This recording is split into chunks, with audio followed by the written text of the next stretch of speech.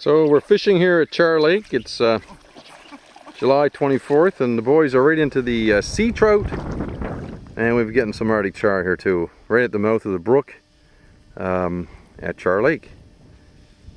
1.30, nice hot day. What temperatures it boys? I'll tell you now, it is 26 degrees. Wow, just gorgeous day. Gorgeous day.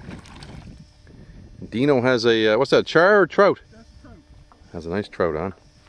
Boys have been catching away here for the last hour. Now for about 40 minutes. And um,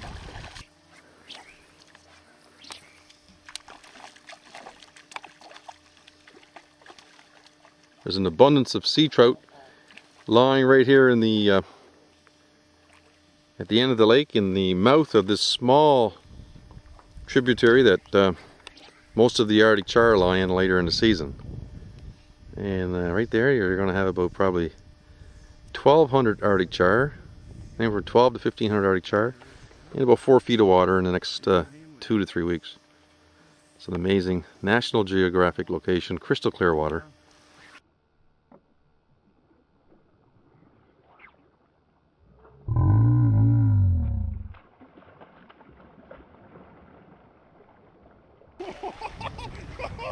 Oh, what a sassy pup! There's a fruit, look!